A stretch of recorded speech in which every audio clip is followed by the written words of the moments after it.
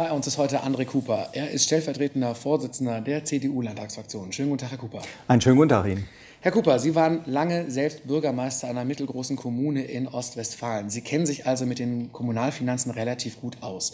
Wie ist da so die aktuelle Situation? Die aktuelle Situation ist äh, desaströs. Äh, während im Bundesgebiet Kommunen erstmal schon wieder schwarze Zahlen schreiben, haben wir in NRW die Situation von unausgeglichenen Haushalten.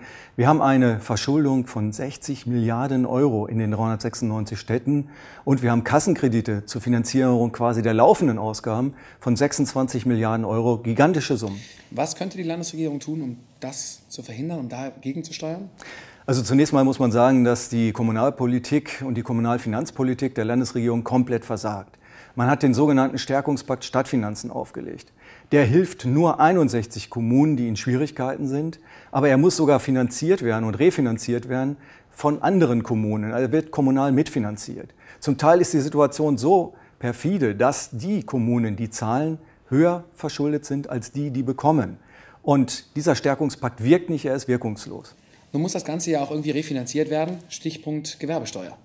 Ja, angesichts der dramatischen Finanzlage in den Kommunen haben die Kommunen keine Alternative. Sie müssen die Steuern erhöhen. Das heißt, wir haben mittlerweile höchste Gewerbesteuerhebesätze, wir haben höchste Grundsteuerhebesätze und das ist ein massiver Wettbewerbsnachteil für unsere Kommunen im Land NRW. Sie haben ja selbst auch einen Vier-Punkte-Plan erarbeitet, mit dem man die Verbesserungen hervorrufen könnte. Wie sehen diese vier Punkte aus?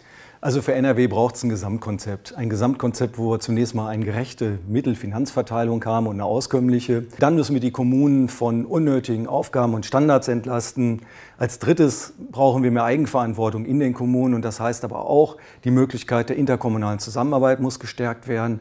Und als viertes ist es so, dass wir über die Kommunalaufsicht im Land NRW nochmal neu nachdenken müssen. Aber wie gesagt, das Ganze muss ein Baukasten sein. Neben den immerwährenden Problemen gibt es aber gerade in letzter Zeit jetzt noch eine neue Problematik, nämlich die Problematik der Flüchtlinge. Ja, angesichts der dramatischen Flüchtlingsströme, die auf Deutschland zukommen und auf NRW, gibt es für die Kommunen ein weiteres Problem.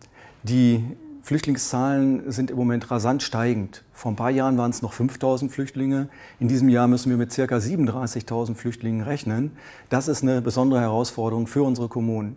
Daneben ist aber zu sehen, dass die Kommunen nicht nur die praktische Unterbringung regeln müssen, sondern dass sie auch in NRW zu 80 Prozent die Kosten für die Unterbringung tragen müssen.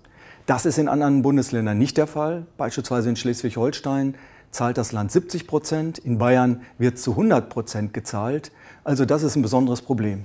Zu den Unterbringungskosten gibt es aber dann auch noch die Krankheitskosten, die fast niemand sieht. Ja, die Krankheitskosten sind von den Kommunen zu bezahlen und äh, wir müssen hier in NRW dafür sorgen, dass wir eine besondere Willkommenskultur haben. Aber wenn in einem Einzelfall jetzt Flüchtlinge kommen aus Krisenländern, die eine Traumabehandlung brauchen, dann kann es einer Kommune passieren, dass sie schnell mal 100.000 Euro alleine für die Behandlung eines Flüchtlings bezahlen muss. Das kann eine Kommune vor Ort nicht mehr leisten. Das bringt jeden Kommunalhaushalt aus dem Rahmen. Und von daher fordern wir nach dem hessischen Vorbild einen Krankheitskosten-Flüchtlingsfonds, sodass Kommunen, wenn sie außergewöhnlich hohe Krankheitskosten haben, Hilfe aus dem Fonds bekommen. Vielen Dank, Herr Cooper. Gerne.